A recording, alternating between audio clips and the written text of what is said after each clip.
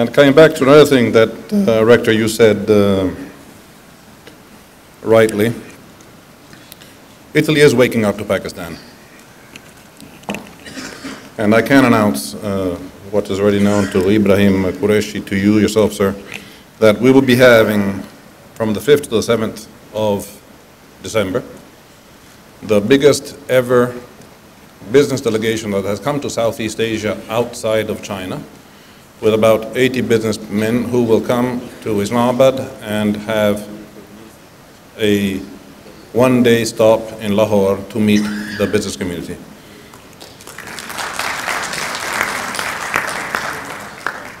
I will, however, not recommend a, an Italian consul, permanent consul here, because if I do have one, then it will have a lot less excuses to come to Lahore, which is a breath of fresh air, living in Islamabad, which is a wonderful place, but uh, not, not half as lively. Now, coming to the substance of the conference, a, lot has been said, and uh, I do believe that this kind of initiatives is essential in the moment we're living because Pakistan is on, uh, in a watershed moment. It's in a cusp of a make or break moment. I'm absolutely sure that from here to 10 years, if the right decisions are taken, and they will be taken, Pakistan will be one of the leading countries in the world.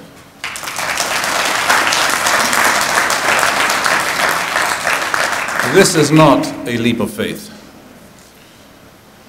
And I, I say a lot I believe. I mean, I don't believe a lot of things. Uh, I do have a few firm beliefs in Pakistan, one of which is that you underestimate your own potential. And by doing so,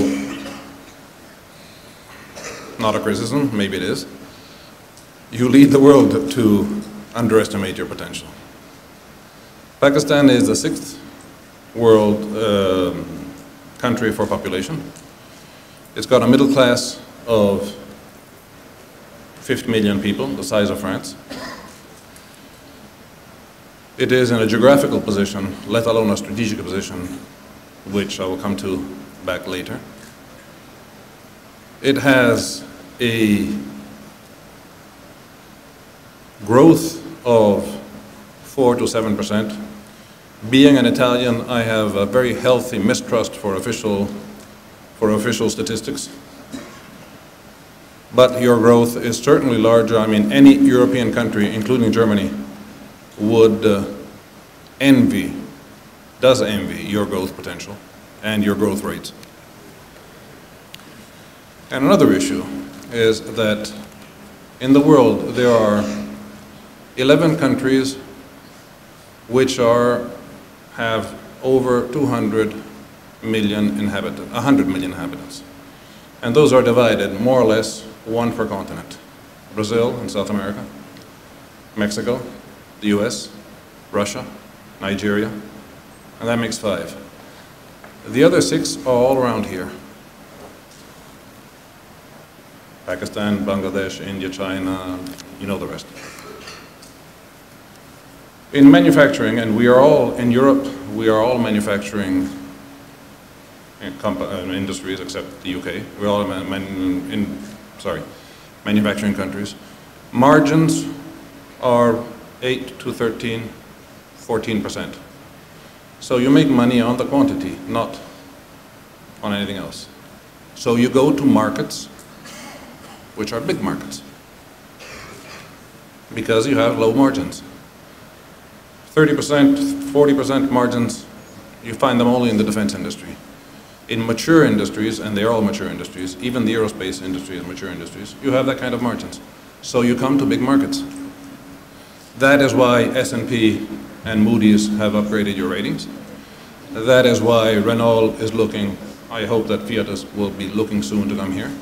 That's why 80 Italian companies are coming here, because you have the potential of becoming a hub of a region of 3.2 million inhabitants. So, as I say, it is not a leap of faith. And Pakistan has a lot more going for it. Whatever you may think, think of the government, I think highly of any government which is in power, especially mine. Pakistan has some of the most investor-friendly policies in the Southeast. Your neighbors do not compare to, any of your neighbors do not compare to you. Pakistan has a serious leadership. Pakistan is a stable country. Then, as I say, whatever you think of the government, it is a stable country. It has a sound industrial base for which, in some cases, it's obsolete, in some cases, it's not. It has a big internal market, and it has a class of, a world-class level of entrepreneurship. The ones I meet are absolutely serious. I've had two of the many examples. Mapei, which you may never have heard of, is a, an Italian, the biggest company in the world an Italian company for industrial uh, chemicals and for, uh, how do you say this in English? Let's say construction materials. It works, it has plants in 69 countries, 68. I invited the CEO of Mapei here. He came, and he came back proposing, well, Pakistan, isn't that the terrorist country? Isn't it full of terrorists? Am I going to get shot as soon as I get off the airplane? Am I going to find a bomb in the hotel? That's the kind of, well, you know it better than I do. That's the kind of first impression you get when, when you read the papers, even your papers. He came, he stayed a couple of days, came back after a month, and will be investing 20 million euros next year to build a plant here. The, the second example is Fiocchi. It's a it makes uh, bullets for hunting and for military, but especially for hunting. 80% of their of their it makes from five um, makes the whole range from 5.7 to 12.7. So it makes also the hunting range Mr. Fiocchi himself, which was a close friend of mine, I invited him here. He came to Pakistan on a Monday. On a Tuesday, he had already signed a memorandum. This was in July, and they are planning in small 8 million euro investment in POF to delocalize to Pakistan. I'm sure that this speaks volumes about what kind of an ambiance you have here. There are, of course, issues which the government has to address and is addressing. Energy. I think the entrepreneurs among you and even the people who you know, have to program their dinners according to, load, to the load shedding know exactly what I'm talking about. Although things are getting better. I live in a diplomatic enclave in Islamabad in which the, one of the few advantages is that you have bores all over the place, and, but you don't have load shedding. So I'll take the bores and keep, and keep the electricity.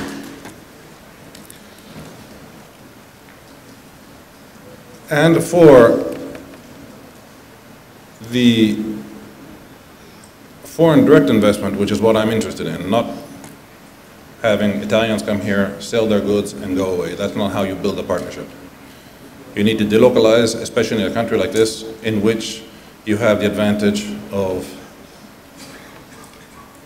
through Pakistan, which is, as I tell my people, a superpower both politically and economically in the Islamic world.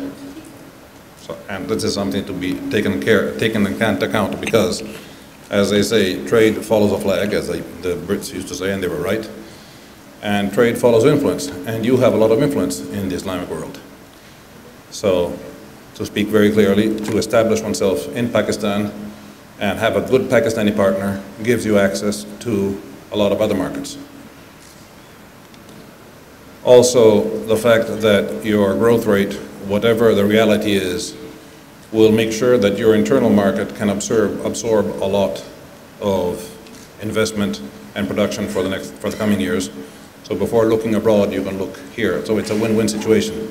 You have a base in a expanding market with the advantage of not having a limit to your investment because once you have saturated the market, the internal market, you can look at exports through the influence Pakistan has abroad.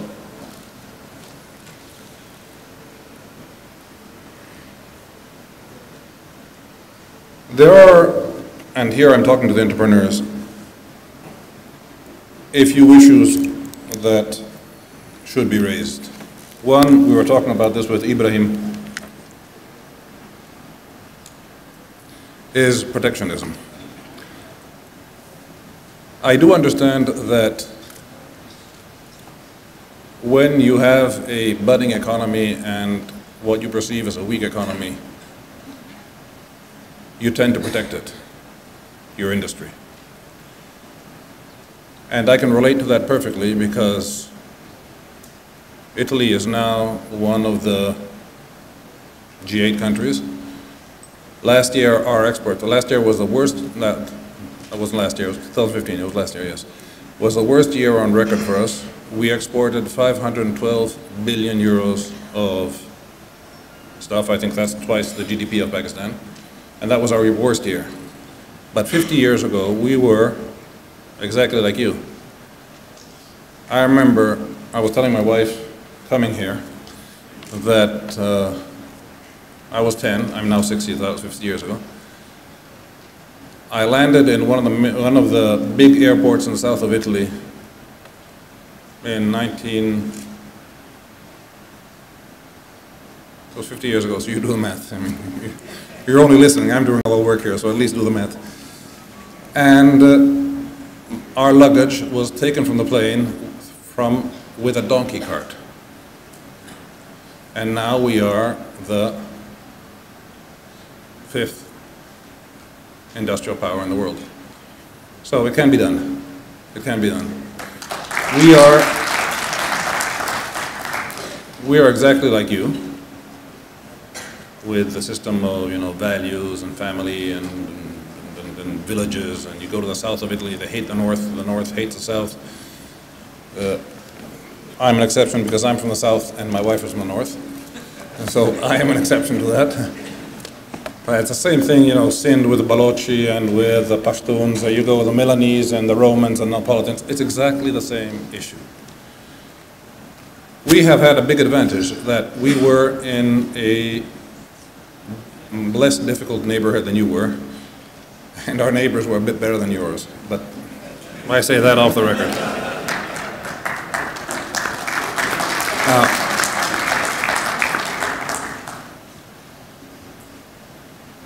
although our neighbors are the French, I hope there are no French here, and so on. I didn't hear that. Well, I was on protectionism. We tried that protection. That was probably the only government policy that backfired. Protectionism, protectionism is always a bad idea because if you have to protect something, it means it's weak. If it weaks, it's obsolete. So what you're doing is you're growing a weak industry. You're growing an outdated industry. You're growing an industry for which there is no demand. So if you want to become a you already are actually a capitalist economy. But if you want to become an advanced capitalist economy, there is no place, unfortunately, for obsolete companies. And sooner or later, you pay the price. Look at what happened to Russians. Look what happened to Japanese. The protectionist policies in Japan, I hope there are no Japanese who get offended. Japan has 30 years of stagflation. Why is that? Because the protectionism in the administrative protectionism Japan does not allow for competition. And so the Koreans, the Vietnamese, the Malaysians are all going forward. The Japanese, the Japanese are at a level of excellence, but they're not advancing. And I will apologize tomorrow to the Japanese ambassador for having said that, but he knows it better than I do. So I think that's the only message that I really wanted to give the industrialists. Don't go protectionist because it's against your own interest on that, I would leave you to, on the, the, I mean, the very positive note, which I hope will become the truth.